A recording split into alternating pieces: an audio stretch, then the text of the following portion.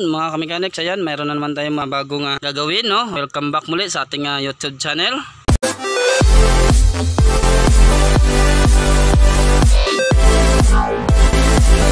Ang gagawin natin dito ay magpapalit tayo ng clutch lining. Ang motor na to ay uh, Audi, no? Ang model niya, ayan. Uh, China lang din, pero same lang din mga makina sa uh, like Rossi, uh, Skygo, uh, pang TMX, no? Same lang. Postrad engine lang din siya, no, mga kamekanik.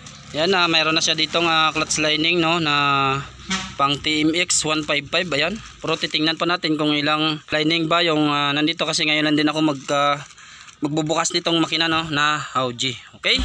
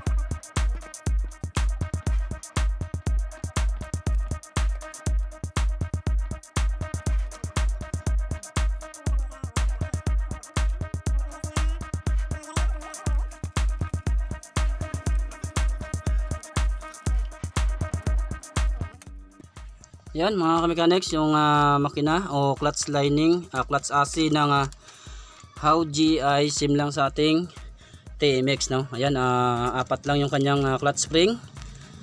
Tsaka yung kanyang lining ay lima lang din. Okay? Sim lang sa sa ating uh, Rossi no ng mga makina na postrad engine. Tsaka sa TMX nan parehas lang.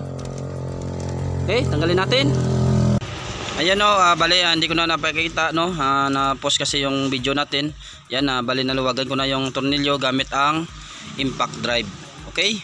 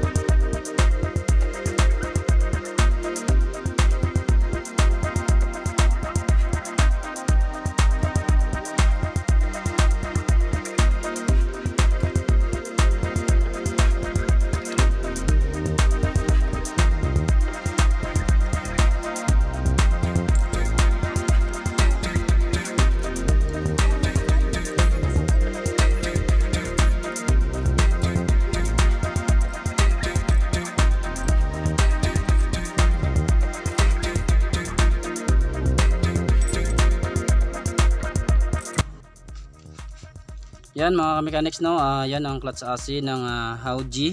Ayan. Ang kanyang uh, dito sa kanyang bandang clutch no, bali circle clip type pa siya.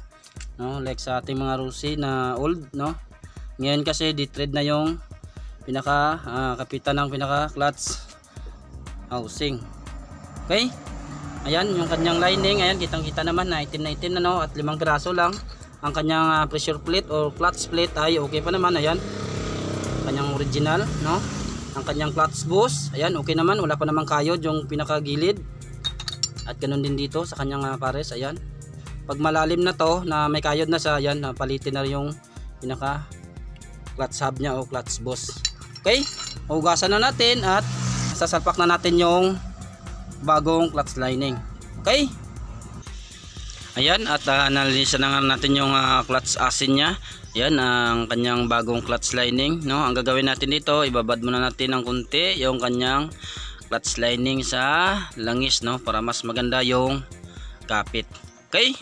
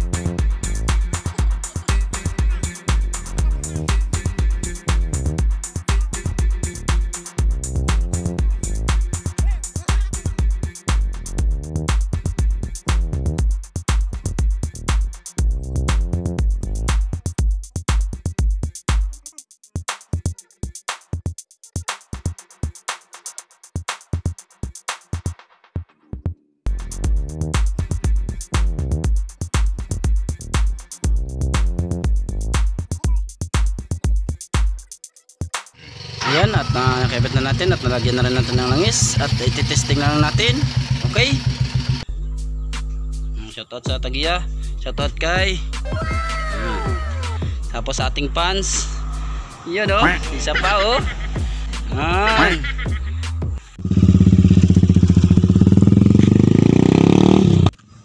Oo, okay na lang. Okay. ah.